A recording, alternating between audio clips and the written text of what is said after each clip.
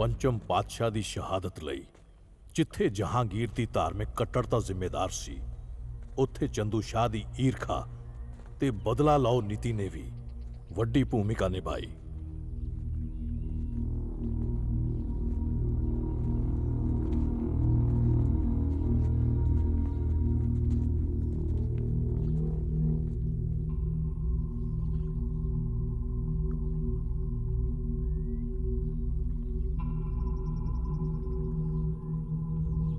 ਵਕਤ ਆ ਗਿਆ ਹੈ ਕਿ ਧਰਮੀ ਲੋਕਾਂ ਨੂੰ ਆਪਣਾ ਧਰਮ ਬਚਾਉਣ ਦੇ ਲਈ ਪੀਰੀ ਦੇ ਨਾਲ ਮੀਰੀ ਦੀ ਸ਼ਕਤੀ ਵੀ ਧਾਰਨ ਕਰਨੀ ਹੋਏਗੀ। ਹੁਣ ਤਖਤ ਸਿਰਜੇ ਜਾਣਗੇ, ਤਲਵਾਰਾਂ ਲਿਸ਼ਕਣਗੀਆਂ ਤੇ ਨਗਾਰੇ ਖੜਕਣਗੇ। ਪਰ ਕਿਸੇ ਜ਼ਰ ਜ਼ਰੂ ਜ਼ਮੀਨ ਦੇ ਲਈ ਨਹੀਂ, ਬਲਕਿ ਹਕੂਮਤ ਦੇ ਜ਼ਬਰ ਜ਼ੁਲਮ ਨੂੰ ਰੋਕਣ ਲਈ ਤੇ ਇੱਕ ਧਰਮੀ ਰਾਜ ਦੀ ਨੀਂਹ ਰੱਖਣ ਲਈ।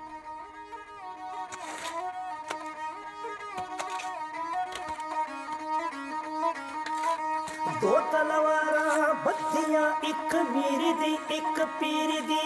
ਦੋ ਤਲਵਾਰਾਂ, ਬੱਧੀਆਂ।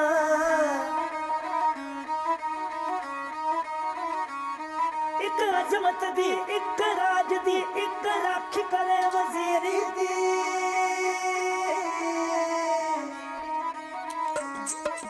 ਦੋ ਤਲਵਾਰਾਂ, ਬੱਧੀਆਂ, ਇੱਕ ਮੀਰੀ ਦੀ, ਇੱਕ ਪੀਰੀ ਦੀ। ਦੋ ਤਲਵਾਰਾਂ ਬੱਧੀਆਂ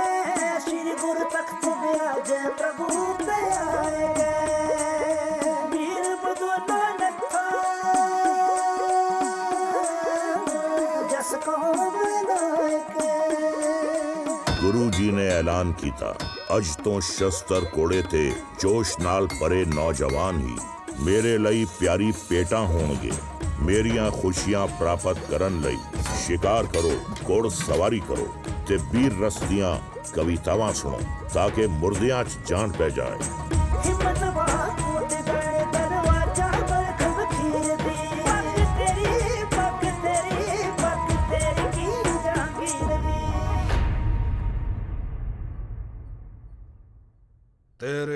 ਤੇ ਅਸੀਂ ਉਹਨਾਂ ਦੇ ਗੁਰੂ ਨੂੰ ਮੌਤ ਦੇ ਘਾਟ ਉਤਾਰ ਦਿੱਤਾ। ਪਰ ਕੀ ਹੋਇਆ? ਕੁਛ ਨਹੀਂ।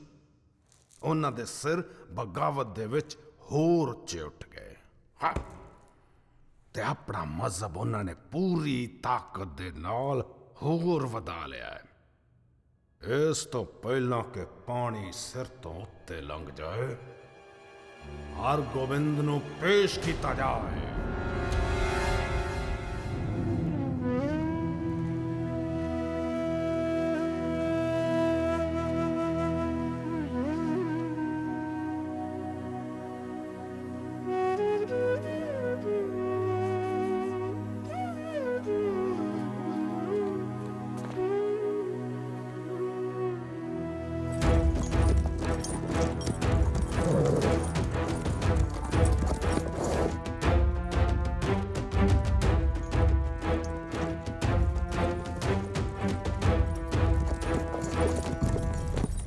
ਆਲਮਪਨਾ ਬਾਦਸ਼ਾਹ ਹਿੰਦੁਸਤਾਨ ਜਹਾਂਗੀਰ ਨੇ ਹਰਗੋਬਿੰਦ ਜੀ ਨੂੰ ਆਗਰੇ 'ਚ ਪੇਸ਼ ਹੋਣ ਦਾ ਹੁਕਮ ਦਿੱਤਾ ਹੈ।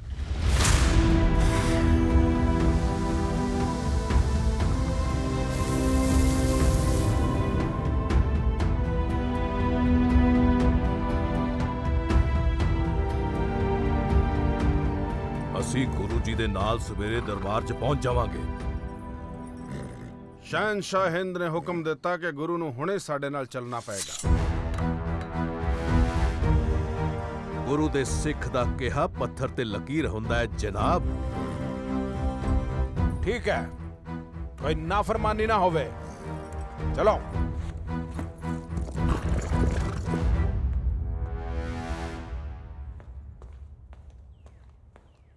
ਜਨਾਬ ਇਹ ਸਾਰੇ ਦੇ ਸਾਰੇ ਹੀ ਰਸਦ ਦਾ ਜਿਹੜਾ ਸੀ ਜਨਾਬ ਨਾ। ਹਰਗੋਬਿੰਦ ਆਏ ਨੇ।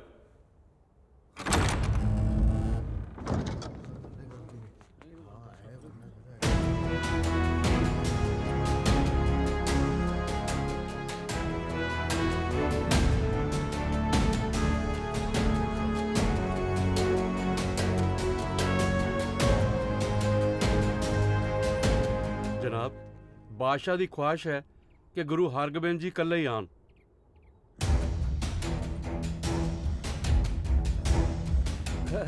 ਬਾਦਸ਼ਾਹ ਦੀ ਇਲਤਜਾ ਸੀ ਕਿ ਕੁਝ ਗੁਫ਼ਤਗੂ ਹੀ ਤਾਂ ਕਰਨੀ ਹੈ।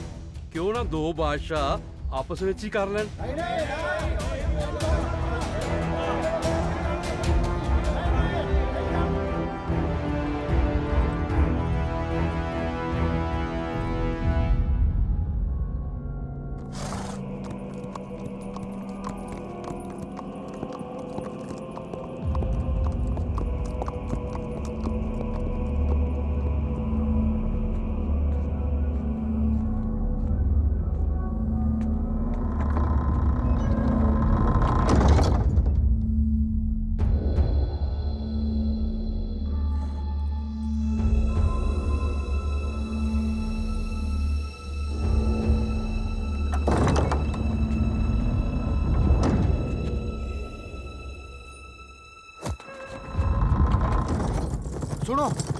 ਹੁਣੇ-ਹੁਣੇ ਖਬਰ ਮਿਲੀ ਹੈ ਕਿ ਗੁਰੂ ਜੀ ਨੂੰ ਦੁਪਹਿਰੇ ਕਿਲੇ ਤੋਂ ਬਾਹਰ ਲੈ ਕੇ ਗਏ ਨੇ।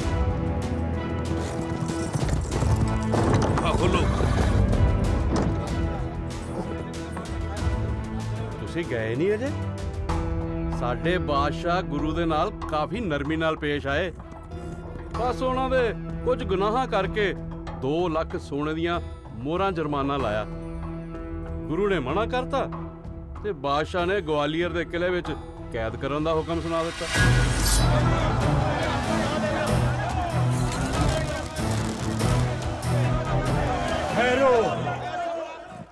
ਠਹਿਰ।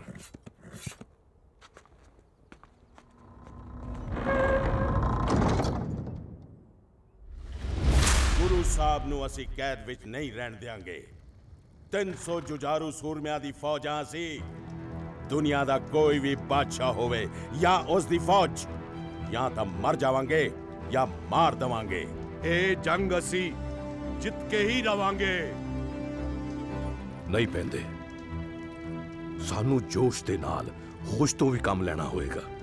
ਜੋਸ਼ ਵਿੱਚ ਜੰਗ ਦਾ ਲਲਕਾਰਾ ਲਾ ਕੇ ਕਿਤੇ ਇਹ ਨਾ ਹੋਵੇ ਕਿ ਗੁਰੂ ਜੀ ਨੂੰ ਕੋਈ ਨੁਕਸਾਨ ਪਹੁੰਚੇ। ਮੁਗਲਾਂ ਨੇ ਪੂਰੀ ਤਿਆਰੀ ਕਰ ਰੱਖੀ ਹੋਏਗੀ। ਪਰ ਗੁਰੂ ਸਾਹਿਬ ਨੂੰ? ਵਾਹਿਗੁਰੂ ਗੁਰੂ ਸਾਹਿਬ ਦੇ ਨਾਲ ਨੇ। ਮੈਨੂੰ ਬਸ 4-5 ਸਾਥੀਆਂ ਦੀ ਲੋੜ ਹੈ। ਮੈਂ ਕਿਸੇ ਨਾ ਕਿਸੇ ਤਰੀਕੇ ਗੁਰੂ ਜੀ ਨੂੰ ਨਾਲ ਲੈ ਕੇ ਆਵਾਂਗਾ। ਪੈਂਦੇ, ਹੁਣ ਜੰਗ ਦੀ ਤਿਆਰੀ ਕਰਨੀ ਹੋਏਗੀ ਤੇ ਜੰਗ 'ਚ ਤੇਰੀ ਸਭ ਤੋਂ ਜ਼ਿਆਦਾ ਲੋੜ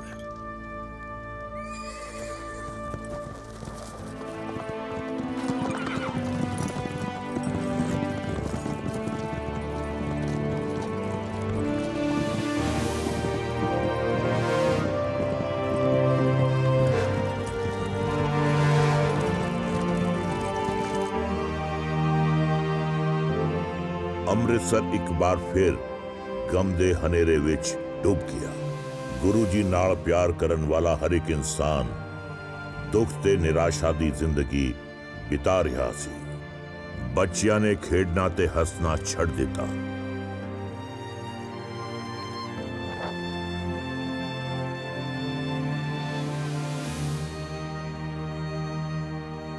ਲੋਕ ਮਨਤਾ ਮੰਗਣ ਲੱਗੇ ਅਤੇ ਈਸ਼ਵਰ ਅੱਗੇ ਅਰਦਾਸਾਂ ਕਰਨ ਲੱਗੇ।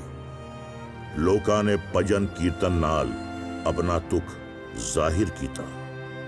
ਕੁਝ ਲੋਕ ਵਿਰੋਧ ਵਿੱਚ ਅਗ ਬਬੂਲਾ ਤੇ ਕੁਝ ਲੋਕ ਪ੍ਰਤੀਰੋਧ ਦੀ ਅਗ ਵਿੱਚ ਝੁਲਸ ਰਹੇ ਸੀ। ਗੁਰੂ ਤੇ ਬਾਬਾ ਬਿਧੀ ਚੰਦ ਜੀ ਦੀ ਕੋਈ ਖਬਰ ਨਹੀਂ ਸੀ। ਤੇ ਲੋਕਾਂ ਦੇ ਨਾਲ ਨਾਲ ਪੈਂਦੇ ਖਾਂਦੇ ਸਬਰ ਦਾ ਬਣ ਵੀ ਟੁੱਟ ਰਿਹਾ ਸੀ।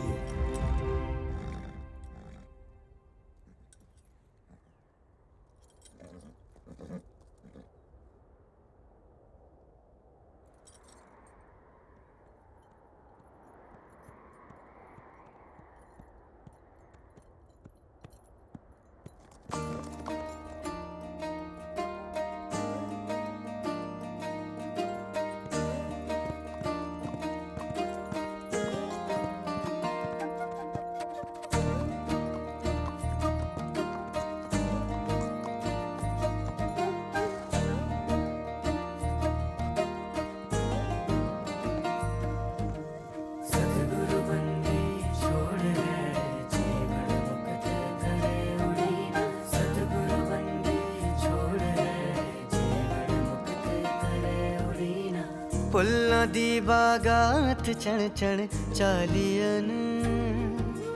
ਤੀਰਥ ਜਾਤੀ ਜਾਤ ਨੈਣ ਨਿਹਾਲੀਅਨ। ਦੀਵਾਲੀ ਦੀ ਰਾਤ ਦੀਵੇ ਵਾਲੀਅਨ ਤਾਰੇ ਜਾਤ ਸਨਾਤ ਅੰਬਰ ਵਾਲੀਅਨ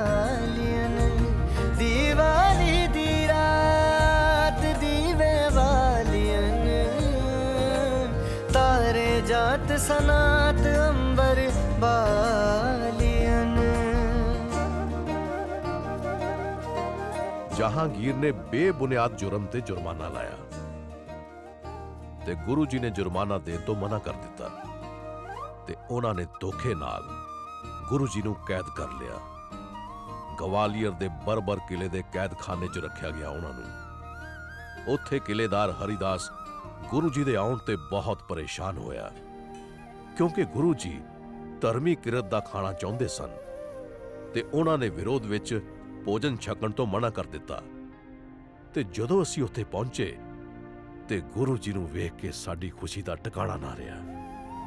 ਕੈਦ ਵਿੱਚ ਗੁਰੂ ਜੀ ਦੀ ਤਾਕਤ ਦਿਨੋ ਦਿਨ ਵੱਧ ਰਹੀ ਸੀ ਤੇ ਬਾਦਸ਼ਾਹ ਜਹਾਂਗੀਰ ਦੀ ਤਬੀਅਤ ਉਨੀ ਹੀ ਖਰਾਬ ਹੋ ਰਹੀ ਸੀ। ਸਾਈਂ ਮੀਆਂ ਮੀਰ ਤੇ ਨੂਰ ਜਹਾਂ ਦੇ ਕਹਿਣ ਤੇ ਬਾਦਸ਼ਾਹ ਨੇ ਗੁਰੂ ਸਾਹਿਬ ਨੂੰ ਰਿਹਾ ਕਰਨ ਦਾ ਹੁਕਮ ਦੇ ਦਿੱਤਾ। ਪਰ ਗੁਰੂ ਸਾਹਿਬ ਦੀਆਂ ਇੱਛਾਵਾਂ ਕਦੇ ਵੀ ਆਪਣੇ ਤੱਕ ਸੀਮਤ ਨਹੀਂ ਸਨ। ਉਹਨਾਂ ਕਿਹਾ ਕਿ ਕੈਦ ਵਿੱਚ ਸਾਰੇ ਹੀ ਬੇਗੁਨਾਹ ਹਨ। ਮੈਂ ਇਹਨਾਂ ਦੇ ਨਾਲ ਹੀ ਰਿਹਾ ਹੋਵਾਂਗਾ। ਤੇ ਬਾਦਸ਼ਾਹ ਨੇ ਹੁਕਮ ਦੇ ਦਿੱਤਾ ਕਿ ਜੋ ਵੀ ਗੁਰੂ ਸਾਹਿਬ ਦੇ ਚੋਲੇ ਦੀਆਂ ਕਲੀਆਂ ਫੜ ਕੇ ਬਾਹਰ ਆਉਣਗੇ, ਉਹ ਸਭ ਰਿਹਾ ਕਰ ਦਿੱਤੇ ਜਾਣਗੇ। ਦੀਵਾਲੀ ਦੀ ਰਾਤ ਦੀਵੇ ਬਾਲੀਅਨ ਤਾਰੇ ਜਾਤ ਸਨਾਤ ਅੰਬਰ ਪਾਲੀਅਨ ਦੀਵਾਲੀ ਦੀ ਰਾਤ ਦੀਵੇ ਬਾਲੀਅਨ ਤਾਰੇ ਜਾਤ ਸਨਾਤ ਅੰਬਰ ਬਾਲੀਅਨ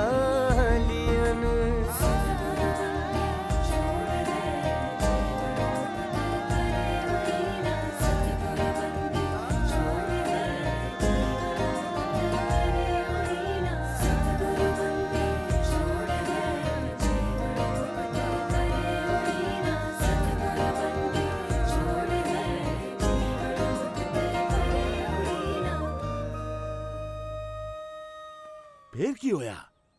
ਫਿਰ ਸਾਈਂ ਮੀਆਂ ਮੀਰ ਜੀ ਤੋਂ ਪਤਾ ਲੱਗਿਆ ਕਿ ਗੁਰੂ ਜੀ ਦੀ ਰਿਹਾਈ ਦੇ ਹੁਕਮ ਦੇ ਨਾਲ ਹੀ ਜਹਾਂਗੀਰ ਦੀ ਤਬੀਅਤ ਦੇ ਵਿੱਚ ਕਾਫੀ ਸੁਧਾਰ ਆਣਾ ਸ਼ੁਰੂ ਹੋ ਗਿਆ। ਸਭ ਪਰਮਾਤਮਾ ਦੀ ਕਿਰਪਾ ਹੈ। ਪਰ ਮੁਗਲਾਂ ਦੀ ਕਿਰਪਾ ਸਾਡੇ ਤੇ ਹਮੇਸ਼ਾ ਨਹੀਂ ਰਹੇਗੀ। ਖੈਰ ਮੈਂ ਤਾਂ ਪੂਰੀ ਫੌਜ ਦੇ ਨਾਲ ਤਿਆਰ ਹਾਂ। ਓਏ ਜੰਗ 'ਚ ਘੋੜਸਵਾਰੀ ਕਰਨੀ ਪੈਂਦੀ ਆ। ਕਰ ਲੇਗਾ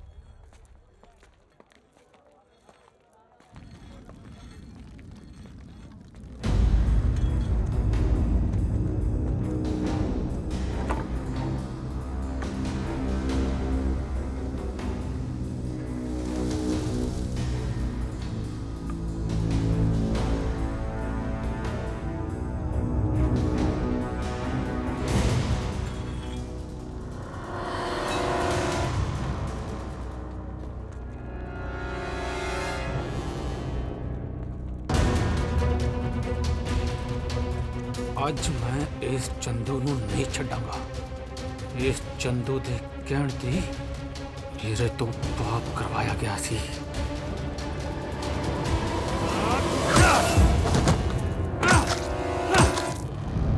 ਬਾਜ਼ ਦੀ ਅੱਖ ਇੱਕ ਸ਼ਿਕਾਰੀ ਦੀ ਅੱਖ ਹੁੰਦੀ ਆ ਹਰ ਸ਼ਿਕਾਰੀ ਇਹਨੂੰ ਫੜਨਾ ਚਾਹੁੰਦਾ ਹੈ ਤਾਂ ਕਿ ਇਹ ਸ਼ਿਕਾਰ ਫੜਨ ਵਿੱਚ ਮਦਦ ਕਰੇ ਪਰ ਬਾਜ ਫੜਨਾ ਕੋਈ ਸੌਖਾ ਕੰਮ ਨਹੀਂ ਹੈ ਤੇ ਜੰਗਲੀ ਬਾਜ਼ ਨੂੰ ਪਾਲਤੂ ਕਰਨਾ ਉਸ ਤੋਂ ਵੀ ਮੁਸ਼ਕਿਲ ਕੰਮ ਹੈ।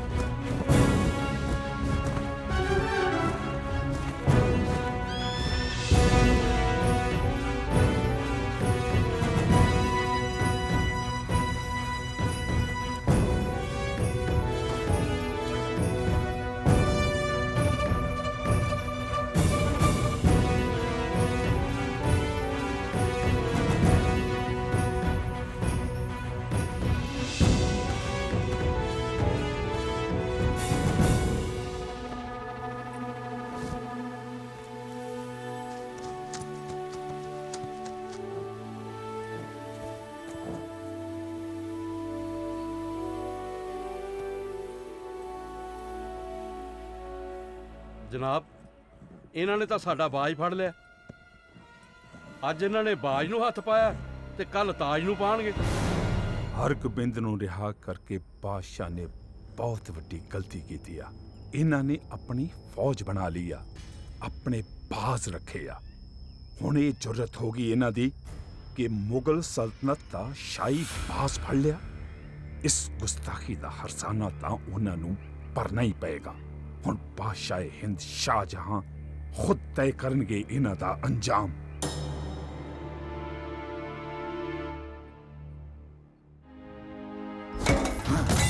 ਮੇਰੇ ਬਾਪ ਦਾਦਿਆਂ ਨੇ ਇੰਨੇ ਮੁਲਕ ਜਿੱਤੇ, ਪਰ ਇੰਨੇ ਤਸੀਹੇ ਦੇਣ ਦੇ ਬਾਵਜੂਦ ਵੀ ਇਹਨਾਂ ਮੁੱਠੀ ਪਰ ਸਿੱਖਾਂ ਤੋਂ ਹਾਰ ਮੰਨ ਲਈ, ਪਰ ਮੈਂ ਇਹਦਾ ਨਹੀਂ ਹੋਣ ਦਵਾਂਗਾ।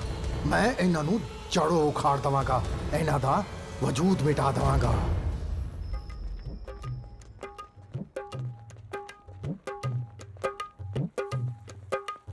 ਹਰ ਪ੍ਰਭ ਮੇਰੇ ਬਾਬਲਾ, ਹਰ ਦੇਵੋ ਦਾਨ ਮੈਂ ਦਾਜੋ। ਹਰ ਪ੍ਰਭ ਮੇਰੇ ਬਾਬਲਾ, ਹਰ ਦੇਵੋ ਦਾਨ ਮੈਂ ਦਾਜੋ। ਹਰ ਕਪੜੋ, ਹਰ ਸੋਭਾ ਦੇਵੋ, ਹਰ ਕਪੜੋ, ਹਰ ਸੋਭਾ ਦੇਵੋ, ਚਿਤ ਸਭ ਰਹਿ ਮੇਰਾ ਕਾਜੋ। ਹਰ ਪ੍ਰਭ ਮੇਰੇ ਬਾਬਲਾ, ਹਰ ਦੇਵੋ ਦਾਨ ਮੈਂ ਦਾਜੋ। ਹਰ ਪ੍ਰਭ ਮੇਰੇ ਬਾਬਲਾ ਹਟ ਦੇਵੋ ਦਾਨ ਮੈਂ ਭਾਈਓ ਦਾਜੋ ਦਿਓ ਕਿੱਥੇ ਜਾ ਰਹੇ ਹੋ? ਓਏ ਕੀ ਹੋਇਆ? ਵਿਆਹ ਹੀ ਹੈ ਕੋਈ ਜੰਗ ਤੇ ਨਹੀਂ? ਥੋੜਾ ਸਾਹ ਲੈ ਤੇ ਆ ਲੱਡੂ ਖਾ। ਓਏ ਪਤਾ ਹੈ ਬਰਾਤ ਆਣ ਵਾਲੀ ਹੈ। ਮੈਂ ਦਰੀਆਂ ਲੈਣ ਆਇਆ। ਓਏ ਤੂੰ ਖਾ ਲੱਡੂ। ਜਦੋਂ ਜਲੇਬੀਆਂ ਨਿਕਲਣਗੀਆਂ ਉਦੋਂ ਮੈਨੂੰ ਵੀ ਬੁਲਾ ਲਈ। ਭੈਣਾ ਇਹ ਦਰੀਆਂ ਕਿੱਥੇ ਰੱਖੀਆਂ? ਵੀਰੇ ਛੱਤ ਤੇ ਪਈਆਂ।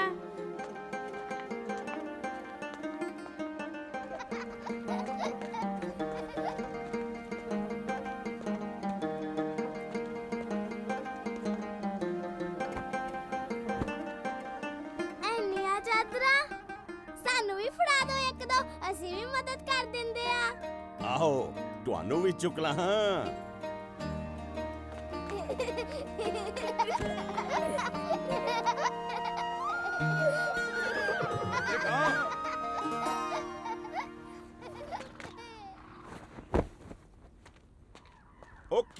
ਬੀਦੀ ਚੰਦ। ਮੁਗਲਾਂ ਨੇ ਅੰਮ੍ਰਿਤਸਰ ਤੇ ਚੜ੍ਹਾਈ ਕਰ ਦਿੱਤੀ ਹੈ। ਦੱਖਣ ਵਾਲੇ ਪਾਸਿਓਂ ਹਮਲਾ ਕਰਨਗੇ।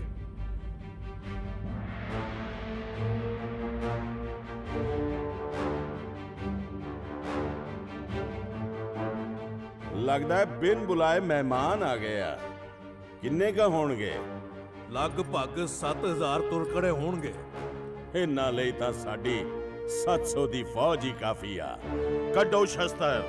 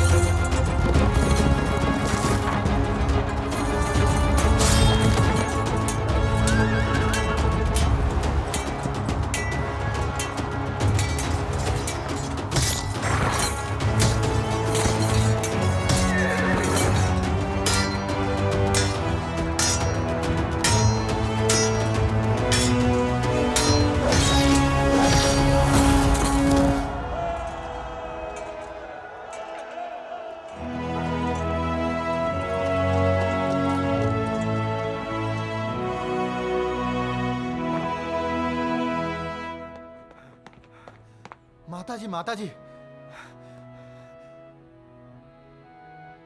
ਅਸੀਂ ਜੰਗ ਜਿੱਤ ਗਏ ਆ ਗੁਰੂ ਜੀ ਨੇ ਦੁਸ਼ਮਣਾਂ ਦੇ ਸਿਰ ਏਦਾਂ ਭੰਨੇ ਜਿੱਦਾਂ ਗੰਢੇ ਹੋਣ। ਤੇਰਾ ਪੁੱਤਰ ਦੁਸ਼ਮਣਾਂ ਦੇ ਸਿਰ ਇੰਜ ਹੀ ਪੰਨੇਗਾ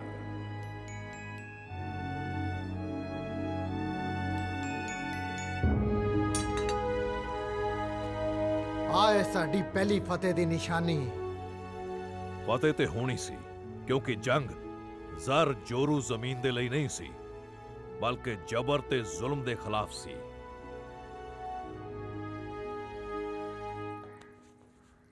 ਅੱਬਾ ਜਾਨ ਲਿਆਓ ਮੈਂ ਮਦਦ ਕਰ ਦਿੰਨੀ ਆ। ਤੂੰ ਇੱਥੇ ਕੀ ਕਰਦੀ ਆ? ਕਿਉਂ? ਆਪਣੇ ਅੱਬਾ ਜਾਨ ਦੇ ਘਰ ਆਣਾ ਮਨਾ ਮੈਨੂੰ? ਨਹੀਂ ਮੇਰਾ ਮਤਲਬ ਆ ਆਸਮਾ ਖਾਨ ਨੂੰ ਵੀ ਮਲਮ ਪੱਟੀ ਦੀ ਲੋੜ ਹੋਵੇਗੀ। ਤੂੰ ਉਹਨੂੰ ਛੱਡ ਕੇ ਇੱਥੇ ਕੀ ਕਰਦੀ ਆ? ਤਾਂ ਝਰੀਟ ਤੱਕ ਨਹੀਂ ਆਈ। ਆਰਾਮ ਨਾਲ ਆਪਣੇ ਕਮਰੇ 'ਚ ਖਾਣਾ ਖਾ ਰਹੇ ਨੇ। ਨਾਲੇ ਤੁਹਾਨੂੰ ਕਿਉਂ ਇੰਨਾ ਚਾਹ ਚੜਿਆ ਅੱਗੇ ਹੋ ਹੋ ਕੇ ਲੜਨ ਦਾ? ਜੇ ਮੈਂ ਨਾ ਲੜਿਆ ਤਾਂ ਪਤਾ ਹੈ ਆਪਣੇ ਕਿੰਨੇ ਸ਼ਹੀਦ ਹੋ ਜਾਣਗੇ।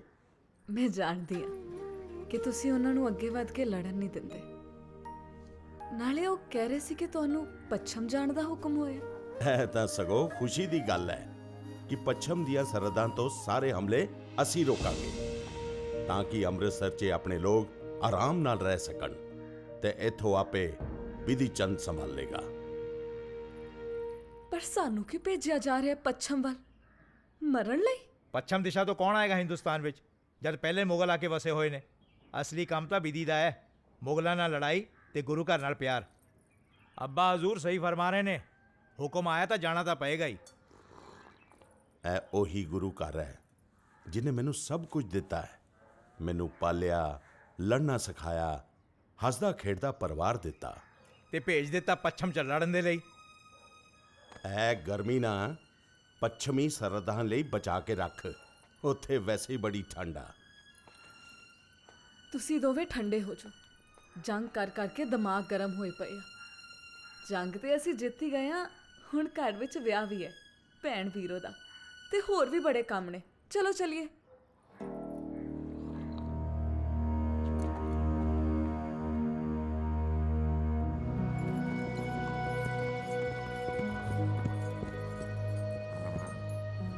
ਮੇਰੀ ਗੈਰ ਮੌਜੂਦਗੀ ਵਿੱਚ ਗੁਰੂ ਜੀ ਦਾ ਖਿਆਲ ਰੱਖਣਾ।